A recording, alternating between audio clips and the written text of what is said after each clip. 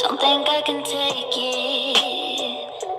With every drama, a piece of me dies like some kind of sadist. I think that he likes to see the pain in my eyes.